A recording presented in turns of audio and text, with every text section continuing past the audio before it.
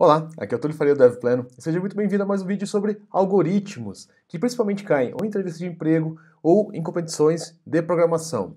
Nesse vídeo eu vou fazer um pouquinho diferente, tá? A gente já tinha falado aí sobre, uh, a gente está falando, aliás, né, sobre lista encadeada, e uh, eu fiz uma forma aqui de adicionar um nó que ela uh, consome O de N, né, vamos dizer assim. Então a complexidade dela é O de N, porque a gente precisa navegar até o final da lista toda vez que a gente vai adicionar um item novo. E aí o, o Vitor Pagani, ele comentou para mim no vídeo, falou, olha, dá para fazer com odd, com odd 1, aliás. Então dá para fazer com valor constante, desde que a gente uh, armazene, uh, além do, da cabeça, digamos assim, da lista, também o rabo, né? Então tail. Uh, e aí eu vou fazer dessa forma aqui também. Então vocês vão, vão ver duas formas de fazer, né? Então, utilizando sem utilizar o tail, que eu já fiz anteriormente, e agora utilizando aí o, armazenando, aliás, o último nó da lista. E aí, assim, a gente otimiza aí um pouquinho, um pouquinho não, na verdade, bastante o nosso código, tá? Daqui a pouco eu vou falar sobre complexidade e o porquê que isso é bastante rápido. Então, a primeira coisa que a gente tem que fazer aqui no, no algoritmo, além de utilizar o head, a gente vai utilizar o tail, tá? Então, que é o, o, o fim da lista, né? Onde é o fim da lista. E aí o que a gente vai fazer? Toda vez que eu quiser adicionar um novo, um novo nó, o que, eu vou fazer? Então vamos, vamos pensar aqui. Ó. Primeira coisa, vamos... Uh, vou fazer um add 2 aqui, tá? E value... E vamos criar... Então olha só, primeira coisa que a gente tem que fazer. Se eu estiver adicionando pela primeira vez, eu vou seguir a mesma regra aqui, né? Então, se não existir uh, head, vamos dizer assim, uh, eu vou ter que criar normalmente, igual eu fiz aqui, tá? Então, vamos colocar aqui, ó. Ctrl V. Uh, então, se não existe head, eu vou criar um novo nó, vou adicionar mais um, porém, o tail também é igual a head, tá? Então, o meu primeiro nó é igual ao meu último nó, tá? E aí eu retorno o head aqui. Legal. Uh, o que mais que a gente pode fazer aqui para melhorar esse algoritmo. Se o head não for uh, nulo, vamos dizer assim, a gente vai fazer o tail. Né? Então, o tail vai ser o último ali. Então, o que a gente tem que fazer? A gente tem que criar um novo nó. Né? Então, vamos fazer um nó aqui. Uh, node, value. E aí, a gente tem que pegar o tail.next, apontar para esse novo nó, Tá? Então, o, o, nosso tail aqui já é o segundo, né? Se a gente for pensar na segunda adição, uh, o que a gente vai fazer? A gente vai fazer ele, então, apontar para o próximo, né? Então, no, no, próximo dele, vai apontar para node. E uh, o tail agora vai ser igual a node. E a gente retorna uh, o node, tá? Ou tail, né? Tanto faz. Então, olha só a diferença que a gente fez. Aqui a gente continua inicializando tanto o tail quanto o head, tá? E quando o head não existe, então quando a lista não está vazia, o que a gente faz? A gente cria um novo nó, a gente já vai no último nó, né? Então, e, e, e pega o next dele, coloca o nó no, no, no, último, né? Então, no último next dele, e o nosso tail vai ser o novo nó, tá? Vamos checar se isso funciona.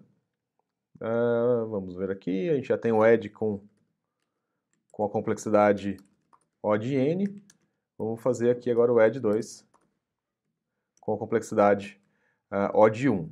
Então, olha só, vamos tirar aqui esses... Eu vou, aliás, vamos adicionar, vamos deixar assim mesmo. Vamos só colocar add 2 aqui. Vamos rodar o código para ver o que acontece. Linked list. Olha lá que legal. Deu certinho, tá? É que, na verdade, eu tenho os outros códigos aqui. Vamos só comentar aqui, porque não é o, o foco aqui agora. Então, o 1 e o 2, faltou eu, eu dar um print aqui. Ah, já tem aqui um comentado. Vamos dar um print na lista. Olha lá que legal. Funcionou também direitinho, tá? Então, olha só. Uh, qual é a diferença aqui? A gente já guardou uma, uma referência né, para o tail, que é o último nó, e uh, a gente utilizou só dele para chegar e adicionar novos itens, tá? Então, só, somente baseado no tail, a gente conseguiu uh, adicionar novos itens ali. Pessoal, aqui ó, pode ser que a gente consiga otimizar mais, tá? A grande questão aqui é só que isso aqui agora é odd 1, tá? Então, o que é vantagem aqui? Uh, independente do tamanho da minha lista, adicionar nela sempre vai custar o mesmo tanto, tá? Então sempre vai custar constante, um valor constante. O único detalhe é o seguinte, vocês perceberam que a gente guarda dois valores agora, né? Teoricamente, se a gente fosse, vamos pensar que esses valores uh, variassem aí dependendo do tamanho da lista. Uh, geralmente a gente falaria, ah, beleza, se ele variasse muito, seria um odd 2, né? O, o, aqui é o temporal, né? Então, o quanto de tempo que a gente gasta. E o, o de espaço, né? A gente gastaria 2. Ah, aí o grande detalhe é, sempre ele vai ser odd 1, mesmo que eu, que eu tenha um resultado 2, por quê? Porque não faz diferença quando você pensa em escala. Né? Então, por isso que geralmente a gente usa odd 1 para constante, porque independente, se você é odd 100, tudo bem, é constante, ele não muda de acordo com a entrada. Então, por isso que a relevância, e quando a relevância que a gente usa, vamos dizer assim, pela complexidade, é quando escala a n, né, que n pode ser milhões né, de registros, ou de itens, por exemplo. Tá? Então, por isso que é comum quando a gente vai falar uh, de constante, O de 1 sempre. Né? Então, a gente sempre coloca como O de 1 uh, para ficar mais simples aqui. Tá? Então, esse é o adicionar um novo nó com, com tempo constante, tá? Uh, e aqui, mesmo que a gente gaste um pouquinho a mais, aí, vamos dizer assim, de memória para armazenar, uh, não altera com, com a escala disso, tá? Então não altera com o tamanho da lista, então continua também sendo constante no, no, no espaço, tá? Então não vai gastar mais espaço, porque a gente não aumenta o espaço uh, de acordo com, com a escala do algoritmo. Beleza? Pessoal, muito obrigado, Vitor, aí, pelo comentário. Muito obrigado a todos que comentam nos vídeos. Eu acho isso muito legal, tá? Uh, e a gente tem uma chance aí de, de contribuir cada vez mais com o conteúdo, né? Então, na verdade, todos os comentários, o do Vitor mesmo, várias vezes aí eu já, já transformei em conteúdo, tá?